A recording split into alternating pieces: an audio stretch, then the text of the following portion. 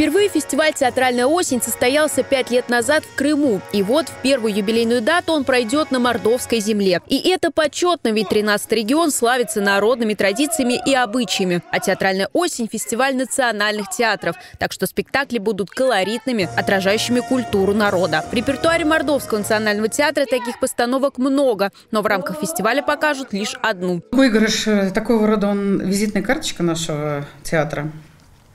И э, когда, находясь в других регионах, показывая этот спектакль, э, многие регионы просят, чтобы мы к ним приехали именно с этим спектаклем. Поэтому, когда заявляешься на фестиваль, они большинство сами звонят и говорят, пожалуйста, подайте заявку именно с Куйгарышем, мы вас ждем с этим спектаклем. Поэтому это почти было так.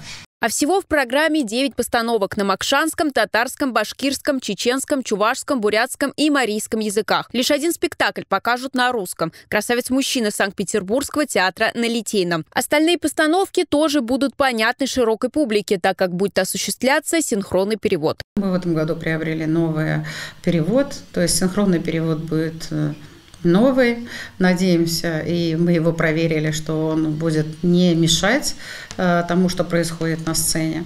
Поэтому всех приглашаем на, на этот фестиваль. Будет очень интересно. Фестиваль «Театральная осень» организован при поддержке Министерства культуры России и театра фестиваля «Балтийский дом». Помимо самих спектаклей, в программе будут проходить обсуждения с театральными критиками, мастер-классы по сценической речи для молодых актеров от ведущих петербургских педагогов, а также участники из разных регионов смогут поделиться профессиональным опытом на творческих вечерах и встречах. Это неплохо, что э, национальные театры в последнее время стали больше больше общаться друг с другом.